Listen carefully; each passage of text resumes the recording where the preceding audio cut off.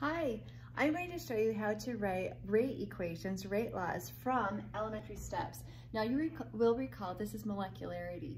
Um, so these elementary steps is what happens right here at the transition state. It's what comes from the mind of a chemist. It's um, our best guess using chemical intuition. What is our best guess of how reactants break and how products form? And from that, we come up with these elementary steps.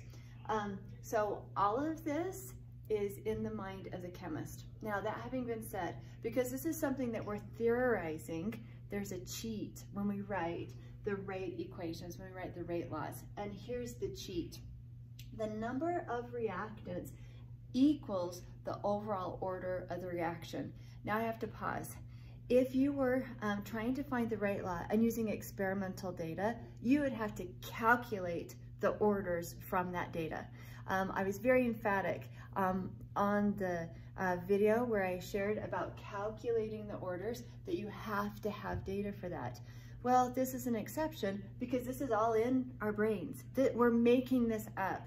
Uh, we really don't know how those reactants break, how those products forms, form. And so because this is all in the theory world anyway, well, let's take it another step. And we're going to pretend that um, whatever the number of reactants is, that that's the order of the reaction. So what I show you here, you cannot apply to um, a situation when you're given data, okay? This is only when you have molecularity. When you have molecularity, then we can assume that the order of the reaction equals the number of reactants. Okay, so keep those separate in your brain. Data, you've got to do the math. Molecularity, great. We're going to fudge this a little bit because we're using chemical intuition in the theory world.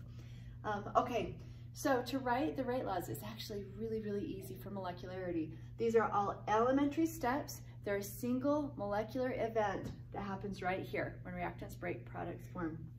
You're going to start by writing rate equals the rate constant, and then you simply write down your reactants. And whatever the coefficient is, that is your order. So I've got one O3, one ozone, so this is going to be a first order. Um, and then notice with a unimolecular, and you can watch that video if you need to look at terms, when I've got one reactant, so um, one reactant in this elementary step called unimolecular, unimolecular is always going to be a first order rate law, first order rate equation. Um, so let's keep going. Let's write the rate law for this elementary step. We've got rate equals K, and then again, I just write down the reactants and the coefficient becomes the exponent, the order. So we have ozone, O3, to the first order because that's understood to be a one times oxygen, and that is also a one.